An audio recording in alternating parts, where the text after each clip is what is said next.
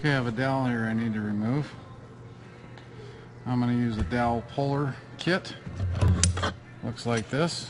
It's got a collet, a slide hammer, and this little collet. This little collet, when you squeeze it down, it grabs a hold of that and um, removes the dowel. There's also one in here for, this one will do uh, studs like I showed you with the double nutting earlier. Um, it's a nice big kit we've got here. See the big kit here? It's got all kinds of different stuff in it. Kind of a neat deal. Okay, how this works. We thread this on here a little ways.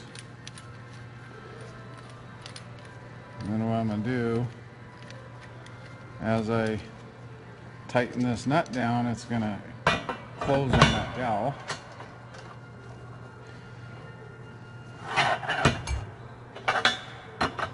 Hold this one.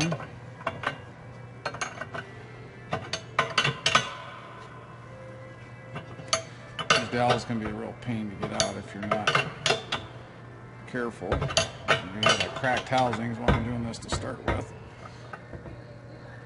They're pretty tight. This is a half inch dowel. And there's our dowel. So that's how that's done.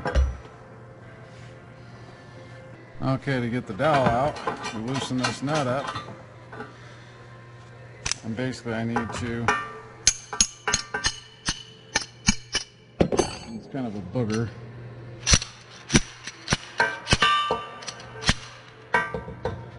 There, it loosened it up, and there's my dowel. Okay, simple enough.